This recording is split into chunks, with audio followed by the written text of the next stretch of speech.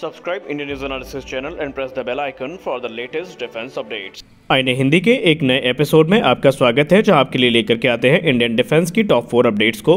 और आज के अपने अपडेट की शुरुआत करेंगे हिंदुस्तान एरोनॉटिक्स लिमिटेड से। हिंदुस्तान एरोनॉटिक्स लिमिटेड इस समय इंडियन एयरफोर्स के साथ एक बड़े नेगोशिएशन को लेकर के आगे बढ़ रही है। दरअसल Hindustan aeronautics limited 240 L thirty engine के कॉन्ट्रैक्ट को लेकर के इंडियन एयरफोर्स के साथ बातचीत कर रही है। जिनका इस्तेमाल इंडियन एयरफोर्स के Sukhoi thirty M K I fighter aircraft में किया जाता है। और रिपोर्ट्स में ये बताया जा रहा है कि इसी फाइनेंशियल ईयर के अंत तक हिंदुस्तान एरोनॉटिक्स लिमिटेड इस डील को फाइनलाइज कर सकेगी, ताकि इंडियन एयरफोर्स की जो सुखोई की फ्लीट है, उसको सपोर्ट प्रदान किया जा सके। दरअसल Sukhoi thirty M K I में A L thirty one engine इस्तेमाल किए जाते हैं, लेकिन जो इनिशियल बैचेस के सुखोई थे, अब उनमें इंजन रिप्लेसमेंट का टाइम आ चुका है, और इसीलिए इस बड़ी संख्या में जो इंजन हैं, इनकी खरीद की जा रही है। Sukhoi thirty M K I Indian air force की बैकबोन माने जाते हैं और ये वर्ष 2040 तक इसी प्रकार सर्विस में बने रहेंगे। एचएल का ये कहना है कि अभी तक जो रिस्पांस आया है वो पॉजिटिव ही रहा है और बहुत जल्द वो इस चीज़ को लेकर के कॉन्फिडेंट है कि अगले छः से आठ महीनों में जो कॉन्ट्रैक्ट है, उसको फाइनलाइज कर दिया जाएगा। इंडियन एयरफोर्स इस समय 260 की संख्या में Sukhoi 30 M K I fighter jets को ऑपरेट करती है और इनमें से ओल्डर बैच के जो एयरक्राफ्ट हैं, अब उनमें इंजन रिप्लेसमेंट का टाइम आ चुका है और जल्द से जल्द जब रिप्लेसमेंट है, उसको करना भी पड़ेगा। दरअसल, ये जो इंजन है, ये हिंदुस्तान एरोनॉटिक्स लिमिटेड की जो कोरापुट डिवीज़न है, वहाँ पर बनाए जाएँगे। न सिर्फ़ रशियन एयरक्राफ्ट के इंजन यहाँ पर बनाए जाते हैं, बल्कि ये डिवीज़न दूसरे जो महत्वपूर्ण रोल है, उनको भी अदा करती है। जैसे कि ओवरहॉलिंग रिपेयर या फिर इंजन में किसी प्रकार के अगर डैमेज आते हैं तो उसको रेक्टिफाई करने का काम भी यही डिवीज़न पूरा करती है। और उनका ये कहना है, क्योंकि सुखोई थर्टी एम अभी लंबे समय तक सर्विस में रहेंगे तो उनके रख रखाव की ज़िम्मेदारी भी हमारे कंधों पर है और हम नहीं चाहते कि कोई भी ऐसा दबाव बने या किसी भी अभाव में हम जो एयरक्राफ्ट है उनको मेंटेन ना कर सके। इसलिए हम पहले से ही ये जो अप्रोच है अपनी, उसको अपना रहे हैं और बड़ी संख्या में जो इंजन्स हैं, वो खरीदे जा रहे हैं। हमारी अगली बड़ी update advance medium combat aircraft अर्थात एमका को लेकर के आ रही है। रिपोर्ट्स में ये बताया जा रहा है कि कैबिनेट कमेटी ऑन सिक्योरिटी के द्वारा एमका प्रोग्राम को जो अप्रूवल है, वो इस वर्ष के अंत तक या अगले वर्ष की शुरुआत में दे दी जाएगी। दरअसल ये भारत का एक फ्लैगशिप प्रोजेक्ट है, जिसके अंतर्गत एक 5.5 जनरेशन का जो एयरक्राफ्ट है, वो तैयार किया जा रहा है, जो कि इंडियन एयरफोर्स की रिक्वायरमेंट्स के आधार पर होगा। रिपोर्ट्स में ये बताया जा रहा है कि हालाँकि अभी जो क्लियरेंस है, इसको मिलने में इस वर्ष के अंत तक का या अगले वर्ष की शुरुआत तक का समय लग सकता है। लेकिन एरोनॉटिकल डेवलपमेंट एजेंसी ने कई उल्लेखनीय कार्य इस प्रोग्राम से जुड़े जो है, उनको कंप्लीट कर लिया है। जैसे कि क्रिटिकल डिज़ाइन रिव्यू ऑलरेडी पूरे हो चुके हैं और इस प्रोग्रेस के बावजूद भी हिंदुस्तान एरोनॉटिक्स लिमिटेड और defence research and development organisation अभी तक प्राइवेट पार्टनर्स का चयन नहीं कर सके हैं। या जो प्राइवेट पार्टनर्स हैं, उनको फाइनलाइज नहीं किया जा सका है, क्योंकि हम सब अच्छे से जानते हैं कि एम का प्रोग्राम जो एस मॉडल है, उसके अंतर्गत एग्जीक्यूट किया जाएगा। एस का मतलब होता है स्पेशल पर्पज़ व्हीकल मॉडल जहाँ पर प्राइवेट प्लेयर्स और पब्लिक सेक्टर दोनों मिलकर के काम करेंगे। और ये जो प्रोग्राम है, इसको आगे बढ़ाया जाएगा। हालाँकि कई पोटेंशियल पार्टनर्स हैं जिनके साथ इस समय हिंदुस्तान एरोनॉटिक्स लिमिटेड और डीआरडीओ का जो डिस्कशन है, वो चल रहा है। रिपोर्ट्स ये बताती हैं कि जो पॉजिटिव रिस्पॉन्सेज हैं, वो भी मिलने शुरू हुए हैं, लेकिन अभी भी जो एस मॉडल है, वो फाइनलाइज नहीं किया जा सका है। सबसे इंटरेस्टिंग चीज़ जो अभी पता चल रही है वो है एमका के नंबर्स को लेकर के।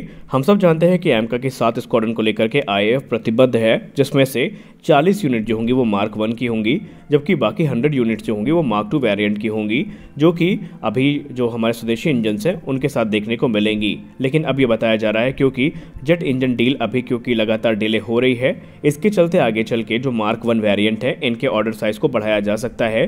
यानी एक अनुमान लगाया जा रहा है कि तकरीबन दो सौ के आसपास जो एडवांस मीडियम कॉम्बैट एयरक्राफ्ट की ऑर्डर बुक है, वो पहुँच सकती है। या अगर हम आसान शब्दों में बात करें तो फाइनल जो ऑर्डर्स होंगे एमका के, वो तकरीबन 200 की संख्या को पार कर सकते हैं। हमारी अगली बड़ी अपडेट आ रही है हिंदुस्तान एरोनॉटिक्स लिमिटेड से।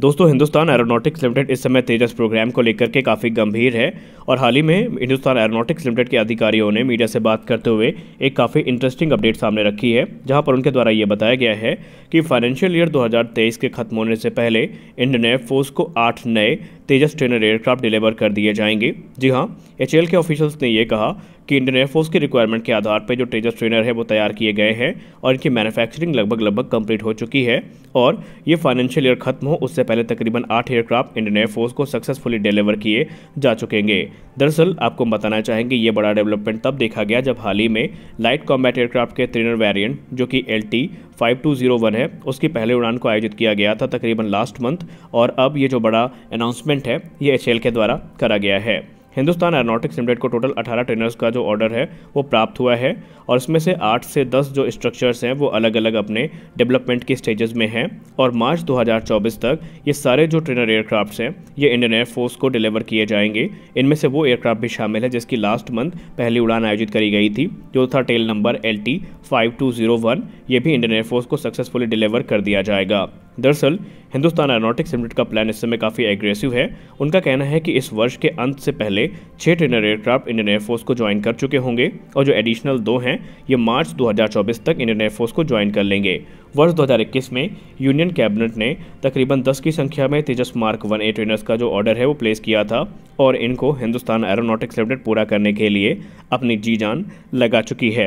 एच का ये कहना है कि उनकी जो नई प्रोडक्शन लाइन है, इसके एक्टिव होने के बाद जो तेजस के ऑर्डर्स हैं, उनको हम रैपिडली पूरा कर सकेंगे और इंडियन एयरफोर्स अगर एडिशनल तेजस के ऑर्डर प्लेस करती है तो वो भी टाइमली डिलीवरी की जो कैपेबिलिटी है, वो हमारे पास अब उपलब्ध हो चुकी है और ऐसे में हम समय रहते इंडियन एयरफोर्स की सारी रिक्वायरमेंट्स को पूरा करने के लिए अब योग्य बन चुके हैं। हमारी अगली बड़ी अपडेट डसाल्ट एविएशन से आ रही है। डसाल्ट एविएशन के अधिकारियों ने मीडिया से बात करते हुए ये बताया कि राफेल के जो फ्यूचर वेरिएंट्स होंगे, जिनमें एफ़ फोर पॉइंट टू और राफेल एफ़ फाइव स्टैंडर्ड होने वाले हैं, उनको इस प्रकार से तैयार किया जाएगा कि जो सीड मिशंस हैं, यानी suppression of enemy air defence mission है, उनको ईजिली एग्जीक्यूट किया जा सके। उन्होंने कहा कि आज मॉडर्न वॉरफेयर का डोमेन लगातार चेंज हो रहा है और हमें अपने फाइटर जेट्स को उसी प्रकार से इवॉल्व करने की ज़रूरत है और ये काम आपको Rafale F four point two और राफेल एफ़ फाइव स्टैंडर्ड में देखने को मिलेगा, जहाँ पर हम उन्हें इस प्रकार से तैयार कर रहे हैं कि एनिमी के जो एयर डिफेंसेस हैं, उनको इफेक्टिवली न्यूट्रलाइज किया जा सके। और ये जो एडवांस वेरिएंट होंगे राफेल के, ये मॉडर्न वॉरफेयर के हिसाब से तैयार किए जा रहे हैं, जहाँ पर एनिमी एयर डिफेंसेस के लिए ये एक बहुत बड़ा खतरा होंगे। इनको नए सिस्टम नए इलेक्ट्रॉनिक्स और नए वेपन्स से इक्विप किया जाएगा जिसके बाद इनकी जो सीट कैपेबिलिटी है वो काफ़ी ज़्यादा बढ़ जाएगी।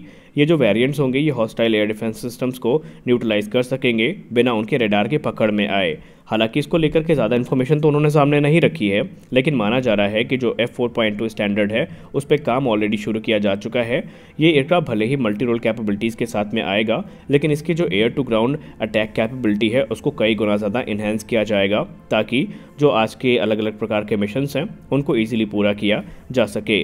दोस्तों suppression of enemy air defence system या suppression of enemy air defence जो होता है, ये एक विशेष प्रकार का मिशन होता है, जहाँ पर एयरफोर्स के द्वारा दुश्मनों के जो एयर डिफेंस सिस्टम्स हैं, उनको तबाह किया जाता है ताकि आने वाले जो स्ट्राइक पैकेज हैं, उनको कोई दिक्कत ना हो। जैसे हमने रशिया यूक्रेन युद्ध में देखा कि शुरुआती दिनों में रशिया के एयरफोर्स के द्वारा लगातार यूक्रेन के जो एयर डिफेंस सिस्टम्स हैं, उनको टारगेट किया गया ताकि एक सेफ़ इन्वायरमेंट वहाँ पर बनाया जा सके दूसरे फाइटर जेट्स के ऑपरेट होने के लिए। तो यही काम राफेल भी आने वाले भविष्य में करेगा। आपको बताना चाहेंगे कि भारत भी इस समय राफेल एफ़ स्टैंडर्ड को लेकर के फ्रांस से बातचीत कर रहा है और एम में एफ़ स्टैंडर्ड एक प्रबल दावेदार के तौर पर देखा भी जा रहा है।